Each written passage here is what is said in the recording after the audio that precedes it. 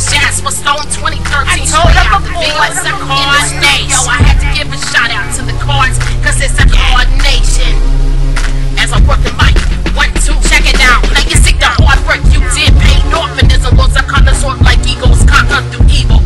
With a banner so high in the sky that they fly like a kite with the height and the depth of the bed so deep. Free like Hiroshima. The number one team boy is a dream. Seemed like an easy catch. Hard work pays off for the rest.